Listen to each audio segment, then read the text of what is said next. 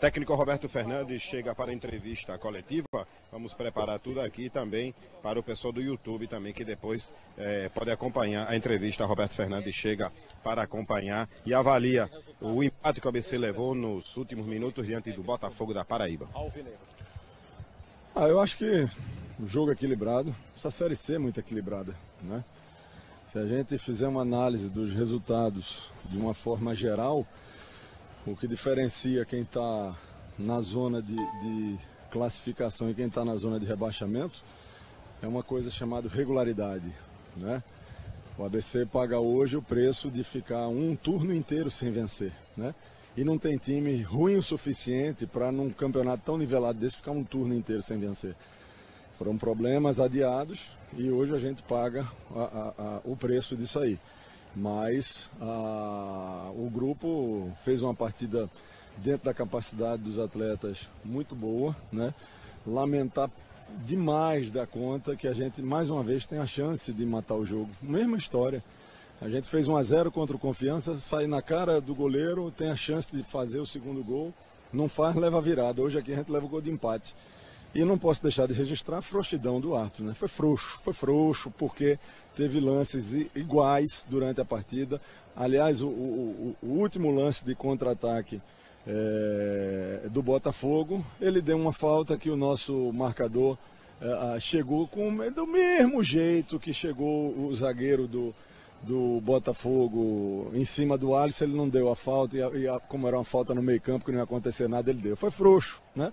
Infelizmente, estamos na Série C, aí do mesmo jeito que, que, que, o nível dos times é o nível de arbitragem, né? Os top estão lá na Série A.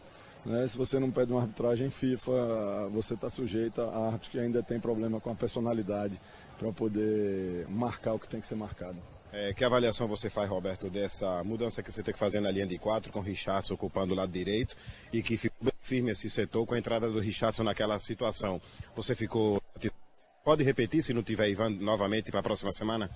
O problema é que o jogo é em casa e cada vez mais a nossa necessidade de vitória urge, né?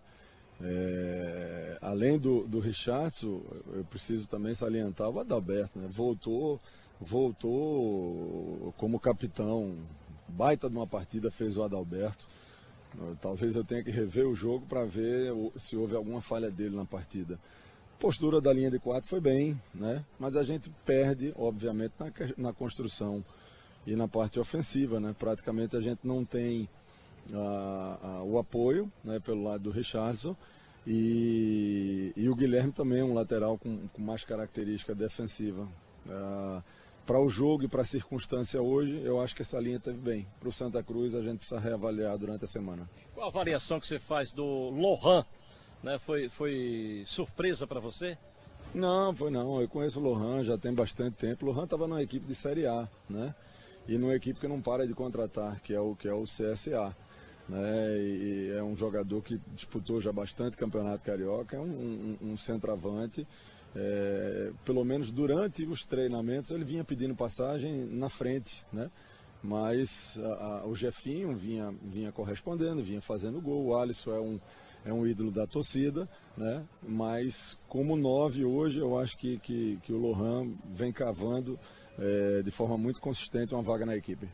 Ô Roberto, você essa semana perdeu Moisés, deixando o clube, e você tem possibilidade de contratações. Como é que você vê essa situação também que o clube de salarial, de reclamação de jogador deixando, isso atrapalha um pouco é, o foco da equipe nessa luta contra o rebaixamento?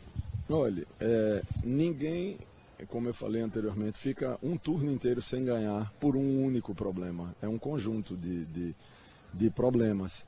Mas o que eu te falo nesse momento é o seguinte: é, se eu tiver que terminar esse campeonato com os 11 que começam o jogo e os 3 da substituição, mas esses daí, esses 14, 16, dando a vida pelo ABC, né, a gente deve isso à torcida. Né? Hoje o jogo fora de casa e o torcedor caramba, lotou a área destinada a, a, ao ABC, veio, apoiou, né? É, nós devemos isso, né, ao apoio que esse grupo vem tendo é, e, e, e, por resultado até nem merece, né? Por resultado nem merece, inclusive eu, né?